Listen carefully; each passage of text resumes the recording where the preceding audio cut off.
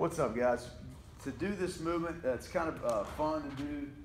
Um, the, uh, it is pretty difficult. You may have a lot of people that struggle with it. You want to put feet right in the middle of the sliders, and it is called around the world. So what you're going to be doing is simulate the mountain climber movement, and then move your body and the Bosu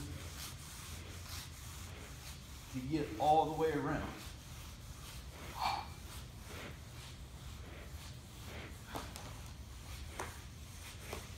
So your repetitions are usually going to be, you know, how many circles. Like if you want to take it one time around the world or two times, eh, or you, you know, you may have a time interval where they just do that until the time is up.